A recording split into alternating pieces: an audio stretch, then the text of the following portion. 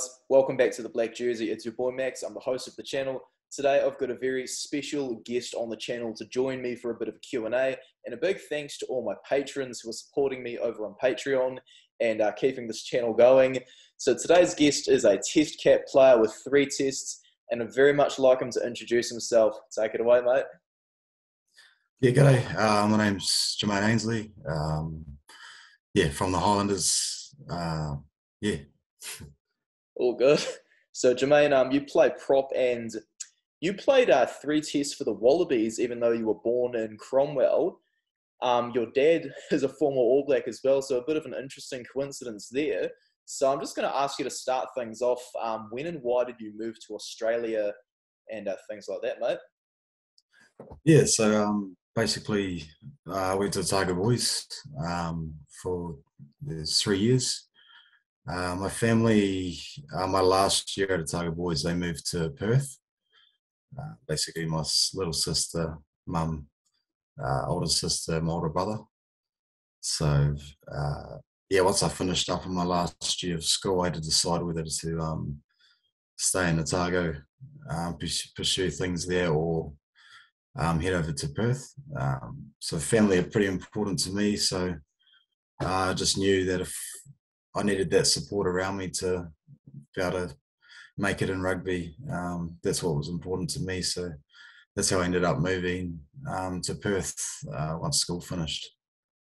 Yeah, that's really good stuff, mate. Um, got to have a support system when you're a professional athlete for sure.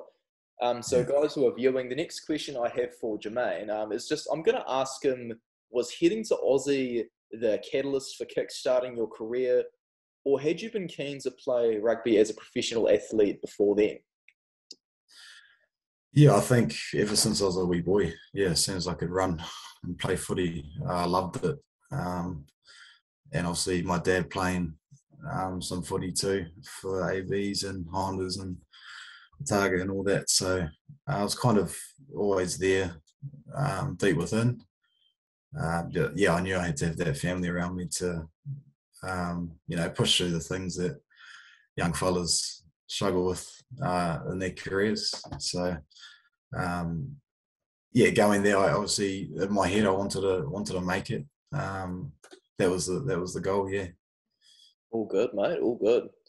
Um, so the first team you played for was the Western Force, and a bit of controversy uh, showed up in 2017. So they were temporarily removed from Super Rugby, and they just joined back up for 2021, I think. Um, so you went to the Rebels after the Force were, I guess, axed. I just want to ask, like, how much this impacted your career, mate? Yeah, I think I really enjoyed the force in my time there. Um, we had a good bunch of fellas. Um, you know, we had a good balance of players uh, across the board. Um, was really enjoying my time. Everyone was loving it there. Uh, we starting to get you know good momentum, um, mm. winning a few games, and yeah, yeah, kind of finding our identity as a team. Um, but then obviously that came in. I think it was near the end of the season, maybe. Um, yeah, yeah but an article had come out at the start of the year, um, leading up to it, um, that would get sacked. So everyone was kind of playing the season with you know they're hovering over their heads whether they didn't know if we're staying or not. Um, yeah, and then obviously when we got cut, um, yeah, everyone kind of went their own way, went to their own clubs. But a lot of us went to the Rebels, which was pretty cool. Even the coach, um, yeah yeah, even the coaches as well. So um, that was kind of an easy move for me to you know head there and um, considering it was sort of the same same personnel. Um, but yeah, I was probably gutted with with that team splitting up because it was we were getting momentum and I was kind of you know restarting again, which was yeah pretty pretty tough. But as you do, you just get on with it and yeah. I was um I was probably on Jermaine's side over there, guys, because um even though I support the All Blacks, I quite liked facing the Force. I like the way they played, but I think um, for Jermaine, things turned out going pretty well because in 2018, mate, you debuted for the Wallabies. Um, so I just want to ask you a bit of a cool, fun question. Um, who was the first person that you told about the call up to the national team? Yeah, so uh, that was my mum. I told my mum uh, straight away. It was pretty um, pretty crazy lead up, to be honest. I was actually in camp um, before I actually played. Um, yeah. I got told to go home for a week or two to because um, I wasn't most likely not going to play, so they sent me home. Um, and then the week of the test, I got uh, called up on the Wednesday. I think the game was on a Friday, possibly.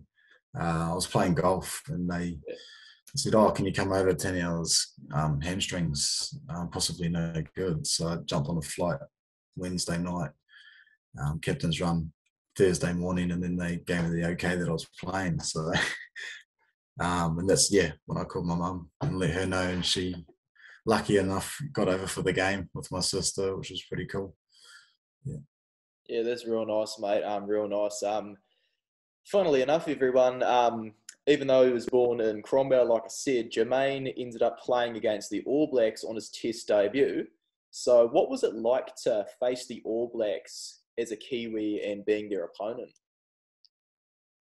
Yeah, it was pretty pretty crazy, like pretty surreal week leading up to it too, like how it all happened. But um, when I got out there, yeah, it was pretty awesome facing the haka. Um, yeah, I think kind of a world whirlwind of um, emotions. I guess growing up, wanting to be an All Black and then facing the All Blacks was pretty crazy. But um, yeah, I was just really, really pumped to play and get on and have a run. Yeah, good stuff, mate. Good stuff.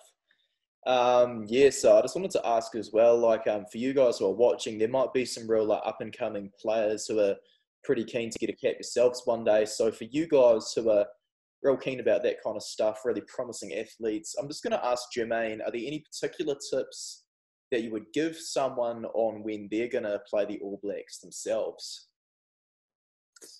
Yeah, I think if I had to do anything different facing the All Blacks, I probably would have um, just backed yourself a bit more. You know, uh, when you get out there, just just back yourself. Um, you know, every person's in there for a reason. So, um, you know, when you get your opportunity, especially against the All Blacks, you know, make the most of it.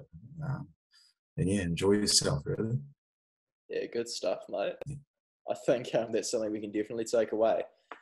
Um, so eventually, um, so you played three tests in 2018, and so I'm just going to ask you. I'm just going to, I guess, jump a few years. I'm going to ask you when and why you decided to return to Otago and uh, play for the Highlanders. Yeah, so I'd obviously been in um, in Aussie for quite a while.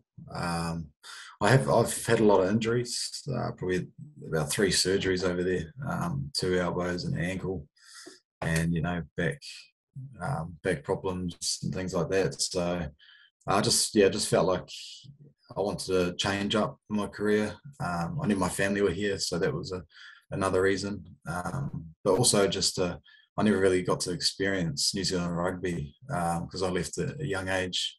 Yeah. Um, so I was just really keen um, to yeah come back and just grow as a player, I guess. Um, yeah, been over there for so long and just wanted to change it up and yeah, just keep working on my craft and um, yeah, just keep learning, I guess. Good on you, mate. That's the attitude. Um, bit of a monkey off the back as well. So the Highlanders, um, in the first six games of the 2022 season, you just come back from injury after missing 2021. Um, so you'd lost the first six games, but you finally got the win against Moana Pacifica. And um, the boys were looking pretty confident last night as well. So I just want to ask you as well, like, how does it feel emotionally, um, tactically, potentially even? Like, how does it feel for the team now that the ducks are broken? Yeah, I think it was awesome getting that win against Moana for sure. Um, you know, bring a lot of confidence to the boys. Um, I think yeah, at the back of their heads, we know we've got to um, finish strong with these these last few games, and yeah, winning that game uh, was awesome. and then last night it was yeah, a bit of frustration around some calls and that. But um, I guess you kind of got to park it because it, you know, otherwise you just dwell on it. Um, so yeah, I think we spoke after the after the game, and you know we just got to keep keep grinding away, keep trusting our plan as a team, how we want to play. Um, just focus on us. Um, I think we've done that. I think we've last night showed you know how we can how good we can be, and I think it's just going to be a, a daily grind on you know, just keep working on our craft as a team and individuals. So uh, it's coming. So yeah, we just got to trust the process really. Yeah, yeah, fair enough. Um, obviously, I can't ask about like uh, tactics, stuff about the scrum and things like that because I don't want to give anything away to the opponents. But um, like, was there anything that you boys um, that you did to get the win against Moana? Yeah, yeah, um, yeah. Obviously, we had, had used the um, used the maul a fair bit. Um, mm. We probably knew they weren't that strong defending the maul. Um, so that was yeah, that was kind of up our sleeve to to use the maul um, for us, and you know it paid off well. So um, yeah, I guess that was one of the tactics for that game. Um, but yeah. No, good stuff. Um, Highlanders have always been known for the driving maul, and um, since yeah. Jermaine here, guys, is one of our probably the best performing props of the season so far. Um, it brings a pretty exciting prospect that I've talked about um, in a couple maybe previous videos. I definitely have mentioned it before. So now that World Rugby, mate, has changed their eligibility laws, um, are you keen to play your fourth test match in a black jersey? yeah, I mean, uh, that's the kind of the possible goal uh, at the back of my head. Yeah, yeah, I suppose. I mean, who wouldn't? I mean, um, for that just to happen this year, and you know how timely that is, um, that would definitely be awesome. Um, yeah, wouldn't be able to put into words what what how good that would feel, but um, yeah, obviously I'm just focusing on on playing every week. Um, yeah, yeah. Obviously, being out last year, injuries, I'm just just um, focusing on every game every week, just trying to get better, really. But yeah, ultimately that would that would be be pretty awesome. Yeah, that would be great, mate. Um, there's definitely been a, a few father and son All Blacks in the last few years. I mean, the Blackadders and the Clarks um, to come to mind, and pretty interesting timing with the uh, eligibility law changes there. So, um, you know, I'm wishing you all the best for that, Jermaine. Good stuff, mate. Thanks, mate. Yes. Um, so I've asked uh, Jermaine Ainsley over here 10 questions, guys. Um, obviously you guys can now leave a comment on um, how you think he's done this season, um, your support for the Highlanders, something like that. And of course, uh, make sure to hit subscribe and hit the notification bell so you don't miss a new video from me. Uh, Jermaine, mate, thanks very much for coming on to the Black Jersey to have a bit of a yarn and a Q&A. Uh, much appreciated, mate. No, awesome. Thanks for having me, man. No worries. Cheers for watching, guys.